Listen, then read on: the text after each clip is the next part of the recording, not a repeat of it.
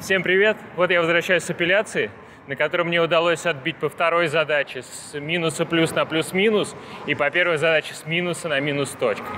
Но, как оказалось, минус точка не сильно влияет. Я думал, что апелляция пройдет гораздо легче, судя по слухам. Думал, что достаточно будет рассказать правильное решение и, в принципе, уже какие-то баллы дадут. Оказалось не так. Проверяют ребята шадовцы, проверяют достаточно внимательно. То есть мне мало того, что нужно было объяснить, что мое решение, которое я писал, ведет к какому-то правильному решению, доказать, что оно правильное, и показать еще связь того, что у меня написано, с тем, что должно получиться.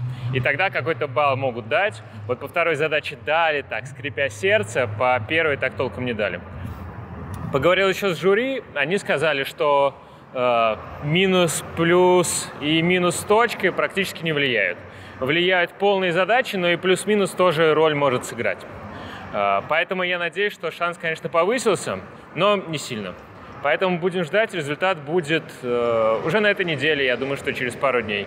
Посмотрим. Я, конечно, надеялся, что получится больше отсудить, но сколько получилось.